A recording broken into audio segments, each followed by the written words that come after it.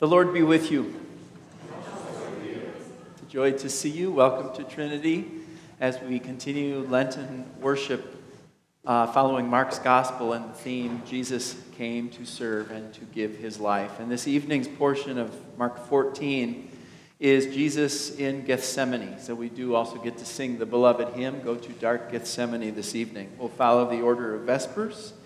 And I do want to thank those who helped serve the uh, fellowship meal before the service tonight and for all their um, hard work. Turn to the opening hymn, please. It's number 418. Hymn 418. Please stand.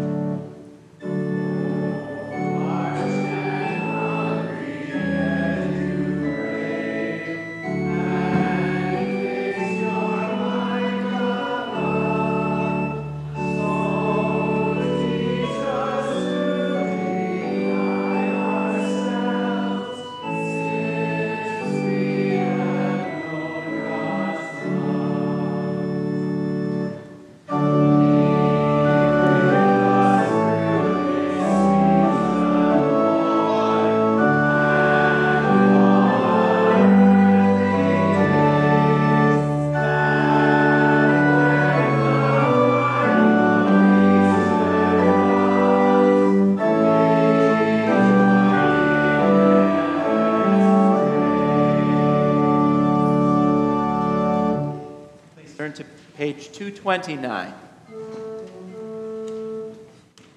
O Lord, open my lips.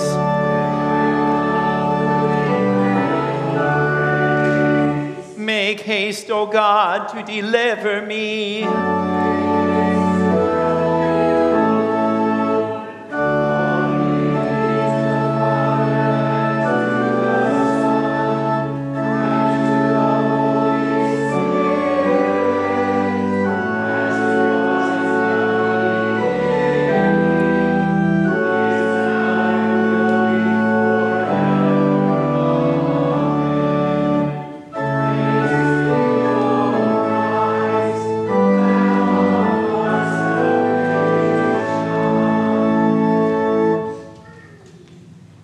Part of your hymnal, please turn to Psalm 22. We will speak responsively. Psalm 22, verses 22 through the end of the psalm.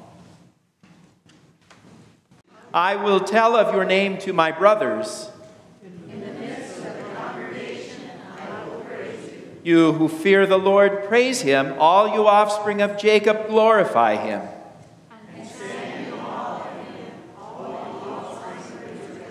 For he has not despised or abhorred the affliction of the afflicted, and he has not hidden his face from him. From you comes my praise in the great congregation. The afflicted shall eat and be satisfied. Those who seek him shall praise the Lord. All the ends of the earth shall remember and turn to the Lord.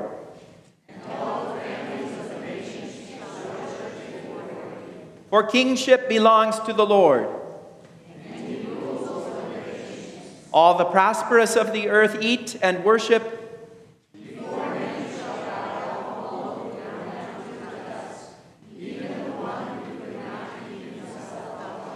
Posterity shall serve him. They shall come and proclaim his righteousness to a people yet unborn. Glory be to the Father, and to the Son, and to the Holy Spirit, as it was in the beginning, is now, and will be forever. Amen. Please be seated. Hymn 436.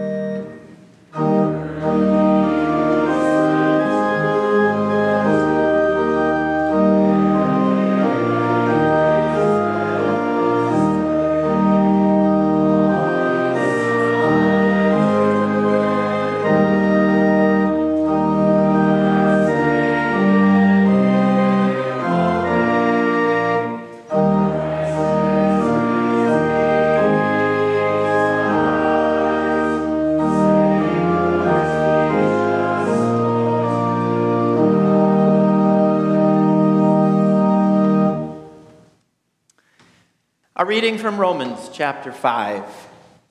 Therefore, since we have been justified by faith, we have peace with God through our Lord Jesus Christ.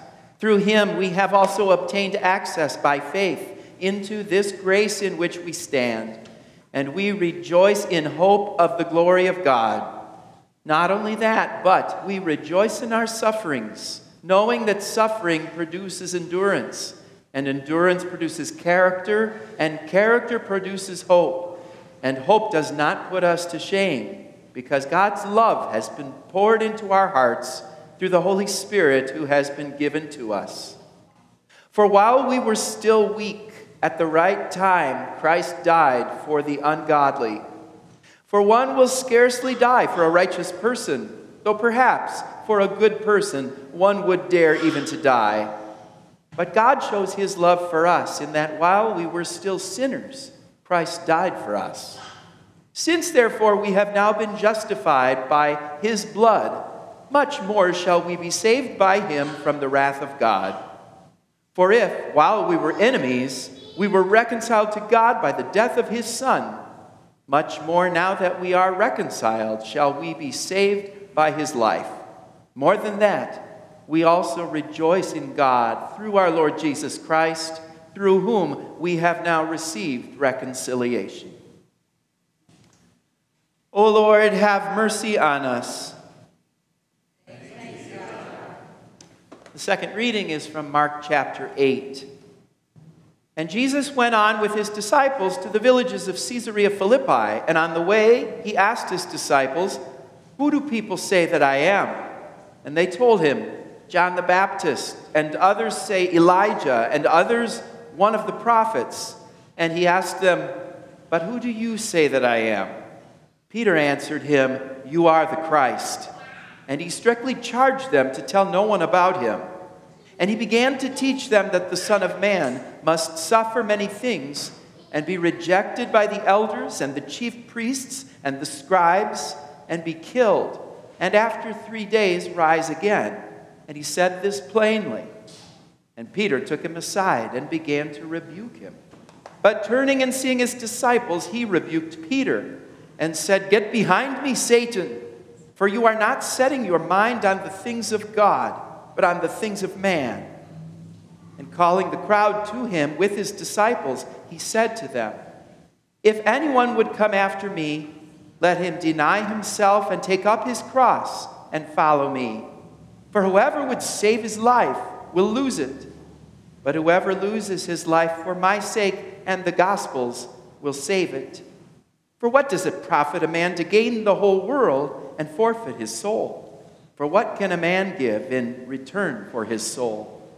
For whoever is ashamed of me and of my words in this adulterous and sinful generation, of him will the Son of Man also be ashamed when he comes in the glory of his Father with the holy angels.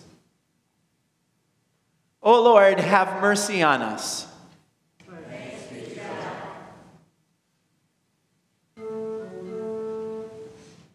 Deliver me, O Lord my God, for you are the God of my salvation.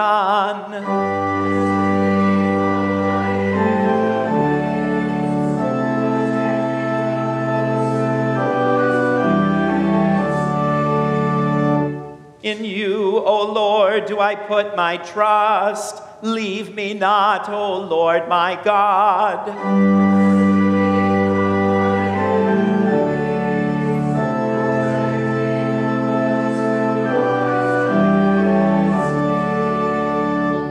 Deliver me, O Lord my God, for you are the God of my salvation.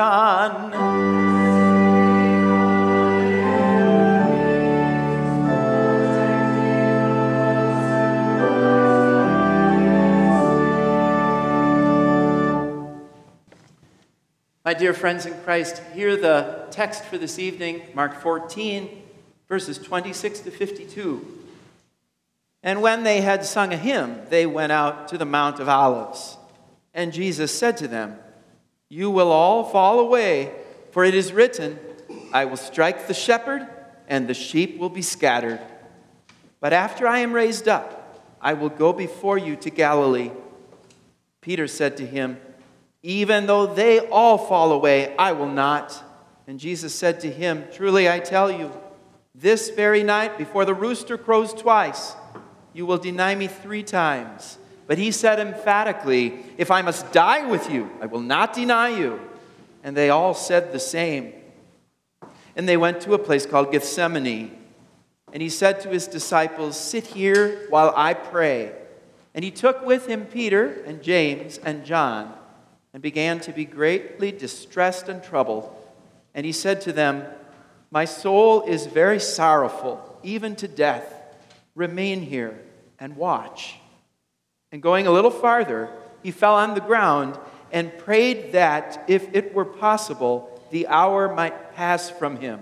And he said, Abba, Father, all things are possible for you.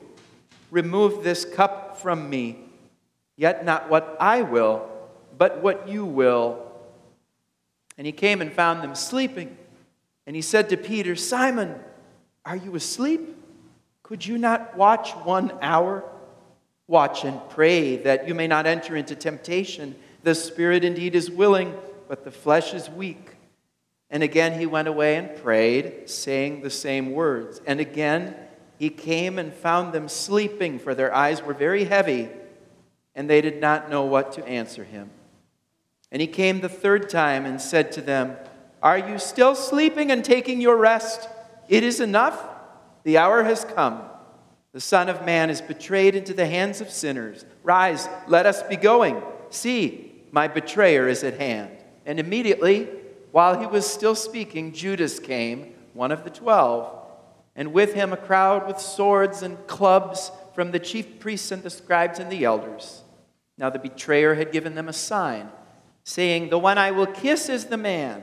Seize him and lead him away under guard. And when he came, he went up to him at once and said, Rabbi. And he kissed him. And they laid hands on him and seized him. But one of those who stood by drew his sword and struck the servant of the high priest and cut off his ear. And Jesus said to them, Have you come out as against a robber with swords and clubs to capture me? Day after day I was with you in the temple teaching, and you did not seize me. But let the scriptures be fulfilled. And they all left him and fled. And a young man followed him with nothing but a linen cloth about his body. And they seized him, but he left the linen cloth and ran away naked. This is our text. Dear friends in Christ, by now we are some days into the Lenten season. If you've checked your calendar, it's been a full two weeks since it began on Ash Wednesday and many days remain. And we pray that God would make those good days for us, His children, good days for us to hear God's word, and good days for us prayerfully and patiently to reflect on that word that we hear, and to believe it, and to live according to it. Easter is coming, but for now, it is Lent. And as we reflect on this particular portion of St. Mark's Passion account just heard, we consider what it is that we are reading about here, and we consider what meaning it all holds for our lives. Today's reading to review encompasses the events late Thursday evening of Holy Week on the Mount of Olives in the Garden of Gethsemane. First, Jesus' word about the disciples falling away and their unanimous response, We won't. And then next, Jesus' anguished prayer to his Father while his disciples sleep and take their rest. Also, Judas's betrayal and a desperate strike with the sword, and Jesus' bold words to his captors, and finally, even a naked man fleeing for his life. I ask you, has a more dramatic scene ever been penned in all of literature or painted on canvas or acted out on a stage? Not even close. And to think this is all true history.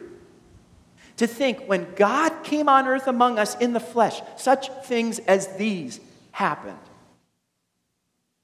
The inspired account of these true events must be engaged with. We Christians must interact with it. We must ask very earnestly what does this mean for me? Among the truths the Holy Spirit would teach us, one truth this evening stands out, and it is a contrast between God's Son, the man, Christ Jesus, and every other man, every other person, every other human being. We who still have the old Adam hanging around our neck. Whereas Christ is strong, we are weak. Whereas Christ is steadfast, we are faltering. Whereas Christ is submissive, we are rebellious. And whereas Christ's words prove true, man's words prove false. Does not the account tonight teach these things? I mean, Jesus begins by predicting two things. One of which is that the disciples, when the crisis comes, will all fall away. And the other thing he predicts we'll get to in a moment. He says, You will all fall away in verse 27. You will all fall, fall away. And the disciples, led by Peter, insist they will not. They'll remain steadfast, they'll remain loyal to Jesus, even if they have to die. That's what they said. Yet in the very next scene, the reader can't help but notice a problem. Those bold disciples are actually a miserably weak bunch. Even the three regarded as the leaders among them, sometimes called the pillars, the inner circle Peter, James, and John. Even they can't prop their droopy eyes open and stay awake a mere hour watching as Jesus had requested them to do. The point of their weakness is only emphasized by Mark's triple repetition. I mean, three times he relates to us that Jesus returns, having gone away to pray, and he finds the men snoozing. Under these circumstances, what can the disciples say? In verse 40, Mark writes, And they did not know what to answer Jesus. Meanwhile, Jesus, for his part, has been in anguish, praying. And these have not been gimme prayers like Christians often pray. Give me health. Give me wealth. Give me happiness, God. No, Jesus has been praying after the pattern that he himself taught. My Father, thy will be done. See, Jesus knew that he was appointed for a hard task the hard task of bearing and being smitten for the sins of the world. If Jesus had not recoiled at the thought, then his humanity would have been just a sham. But this man, this God man Jesus, is your true brother. And just as surely as you have fallen short of the glory of God, he was the one appointed by God to answer for it all and to bear the dreadful curse for your soul. No wonder then that Jesus' soul was very sorrowful, even to death. So in his anguish, Jesus prayed that if it were possible, the hour might pass and the bitter cup might be removed. Yet, he added, not what I will, but what you will. See that? Not what I will, but what you will. And in contrast, the disciples of Jesus, Judas especially, but also all the others, including the naked runaway, in contrast, all those said in chorus that night, Yet not what you will, but what I will. And haven't we done the same? Isn't that the sum and substance of the sins we commit every day or the good we omit to do?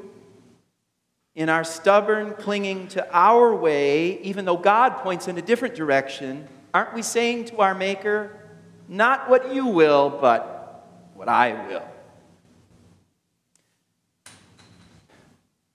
What a tremendous mystery, then. And what truly amazing grace that this one this Jesus would press forward for us. Mark, writing by the Holy Spirit, makes crystal clear in our text that the disciples are weak men and ungodly. Peter's denial of Jesus, which we'll hear about next Wednesday, only underscores the point. Their words prove false. St. Paul, writing to the Romans, is in agreement with this. He says, For while we were still weak, at the right time, Christ died for the ungodly. For one will scarcely die for a righteous person, though perhaps for a good person one would dare even to die. But God shows his love for us in that while we were still sinners, Christ died for us. Did you hear? Notice that you and I are not righteous or good by nature, but sinners. Yet, did you notice also that God shows his love for us. In other words, God loves us. Not after we have done something deserving it or because of anything in us, but just because he loves us, which is his grace. And we know this because Christ died, Paul writes. Christ died for us. Yes, at Gethsemane and from Gethsemane, Jesus Christ pressed forward toward the cross. For rebels like us, he was submissive to the will of his Father. And in love for people just like us, Jesus laid down his life for us. So Jesus fulfilled the scriptures indeed. Those scriptures, for example, that said, Surely he has borne our griefs and carried our sorrows. He was wounded for our transgressions. He was crushed for our iniquities. Upon him was the chastisement that brought us peace. And with his stripes, we are healed. All we like sheep have gone astray. We have turned every one to his own way. And the Lord has laid on him the iniquity of us all. Isaiah 53. And I tell you, friends, Lent necessitates that we rightly view our poor sinful condition, yet at the same time, Lent necessitates that we rightly view the surpassing, incomparable, glorious love of God the Father and of Jesus Christ, his Son, for us. But that's not all. Jesus in our text also offers that peek forward that tantalizing word about being raised up and going to Galilee. Remember, I said at the beginning of the text, Jesus predicted two things. First, that all the disciples would fall away, and then he added another prediction. But after I am raised up, I will go before you to Galilee. Also, in this word, Jesus' love is evident because he spoke that word so that his disciples might have comfort and encouragement. And also today, even in the face of our weakness, our faltering, our rebellion, our falsehoods that continue to be part of our life as fallen creatures, Jesus comes near with his loving word of comfort and encouragement. It is as if he would say to us, I have been raised up, and I meet you in my word and sacraments to share with you my resurrection life. I bestow forgiveness upon you daily and richly in my means of grace. I unite myself to those who are baptized into my death and resurrection. By my Holy Spirit, I strengthen your faith. I myself go with you every step of the way in your walk as my disciples and as my witnesses. Because I love you I have died for you and risen for you. Because I love you, says Jesus, I give you faith which unites you to me forever. So today's scripture reading highlights the contrast for us between Jesus and us, but also it underscores the great love that Jesus has for us. And these basic and very important truths will continue to bless you, God's people, throughout this season of Lent, to Easter and beyond, and through all the days of your life on earth, until, by God's grace, you come to the end of your journey in heaven. Amen. The peace of God that passes all understanding, keep your hearts and minds in Christ Jesus. Please stand and let us sing the Magnificat. Let my prayer rise before you as incense.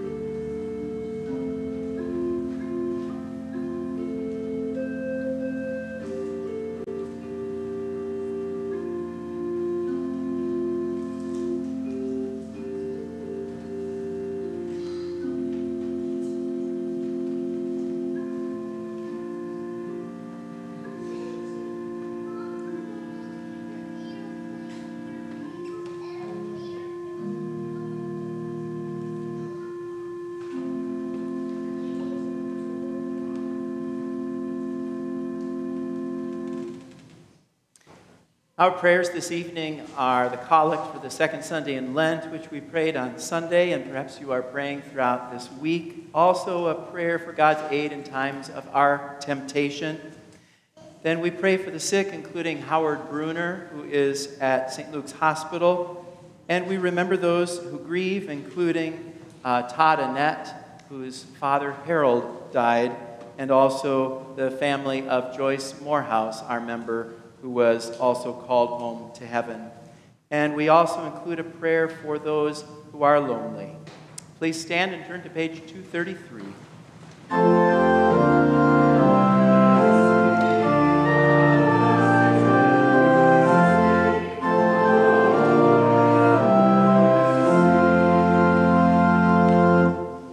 Our Father, who art in heaven, hallowed be thy name.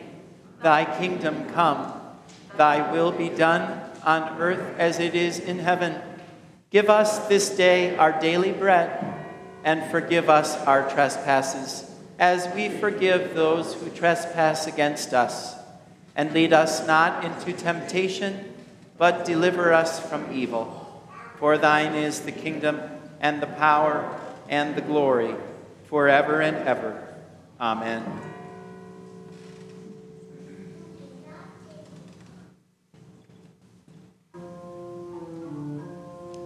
The Lord be with you.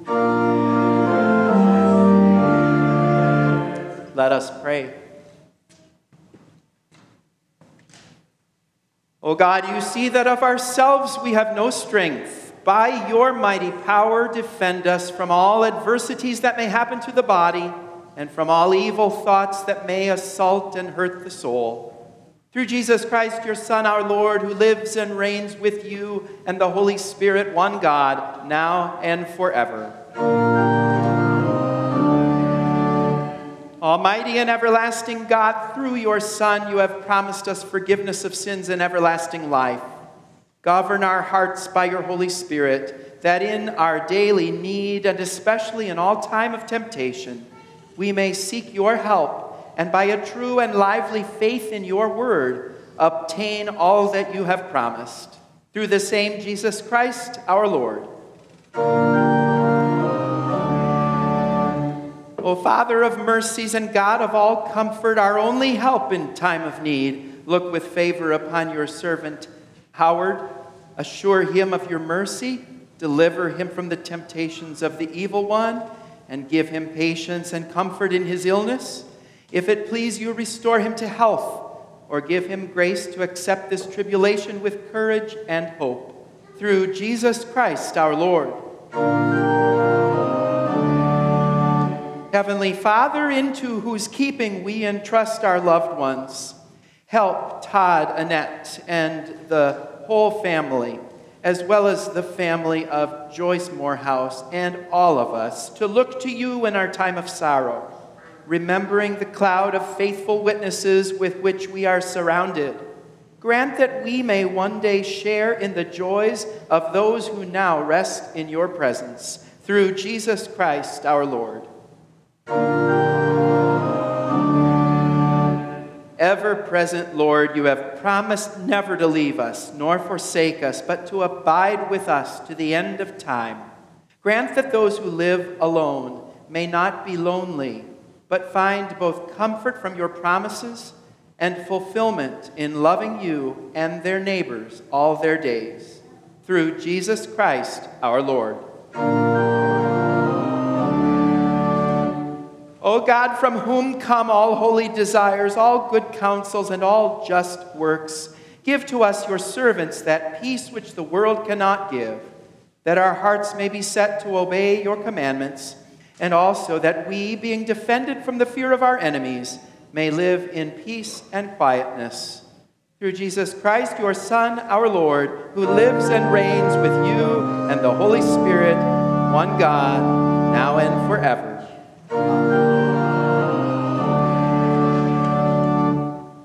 Let us bless the Lord. The grace of our Lord Jesus Christ, and the love of God, and the communion of the Holy Spirit be with you all.